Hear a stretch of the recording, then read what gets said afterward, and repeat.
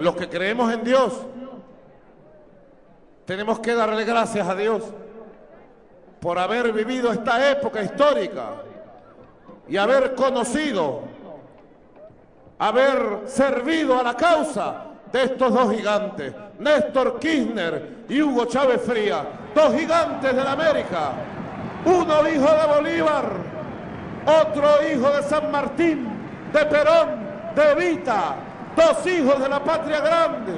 Noviembre de 2005, en la famosa cumbre de las Américas, donde se nos quiso imponer el proyecto de colonización económica más peligroso que jamás el imperialismo estadounidense había esgrimido contra nuestro pueblo.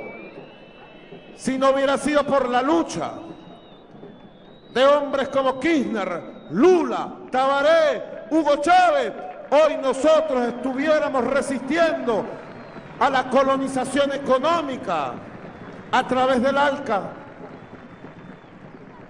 Ellos venían a ponerle fecha al nuevo colonialismo económico. Ustedes saben que ellos hicieron una campaña brutal contra mí, contra mi familia, contra mi vida, pues. Y decían que mi madre nació en Colombia. Y me decían, ellos,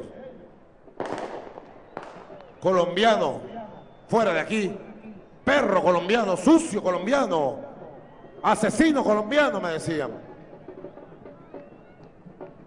Campañas xenofóbicas de odio contra pueblos hermanos, cubanos, contra el pueblo ecuatoriano, contra el pueblo peruano, contra el pueblo colombiano, contra el pueblo argentino.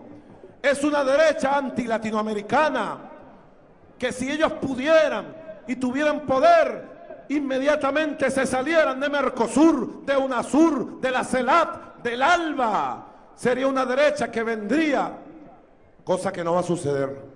Pero si llegaran a tener un poquito de poder, vendrían a destruir la unión de América Latina y el Caribe que tantos siglos de lucha ha costado y que uno de los grandes logros de estos gigantes, Néstor Kirchner y Hugo Chávez, si algo tiene garantizado el pueblo venezolano con la revolución en el poder, es que va a seguir existiendo una democracia movilizada, poderosa, de plenas libertades, con un pueblo activo, organizado, culto, formándose cada vez más.